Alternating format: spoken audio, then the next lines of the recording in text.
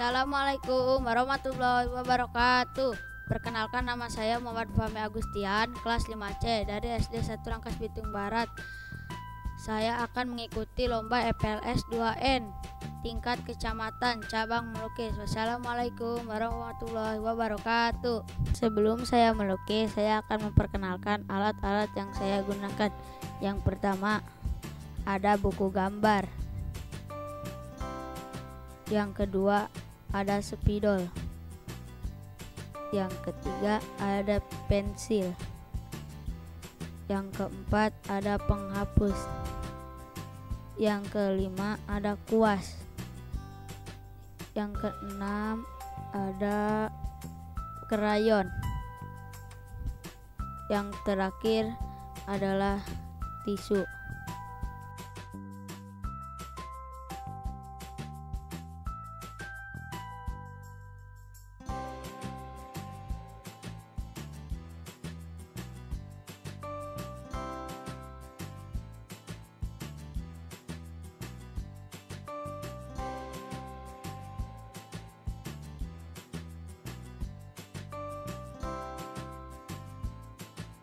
Para dewan juri, sekarang saya akan membuat sketsa.